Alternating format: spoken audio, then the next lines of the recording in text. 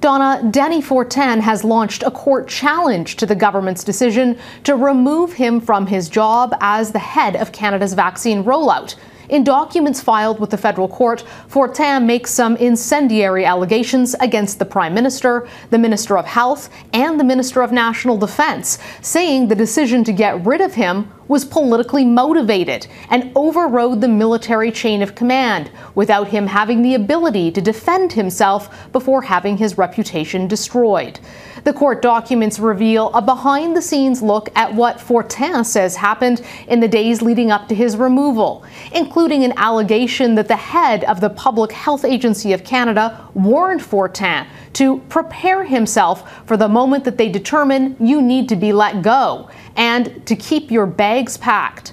Fortin says comments like that one, where he was told, and another where he was told that the political calculus had changed, prove the whole thing was politically motivated and amounted to what he calls inappropriate political interference by Prime Minister Justin Trudeau and members of his cabinet, who Fortin says got rid of him for their own personal and political gain, overriding the chief of the defense staff and leaving out key context about the allegation he was facing.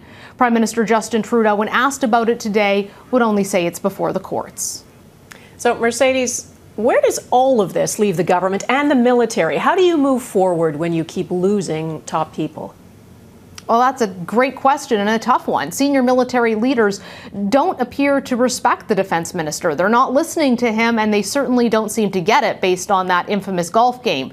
This is now becoming an issue for the government of civilian control over the military. With the government seeming to have lost control on this file, it's increasingly becoming an issue, and it blew up today in question period. Listen to this.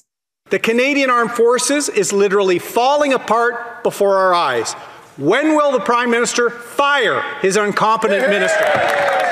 We know that we have a lot more work to do to making sure that we create an inclusive environment in the Canadian Armed Forces, and we will get it done.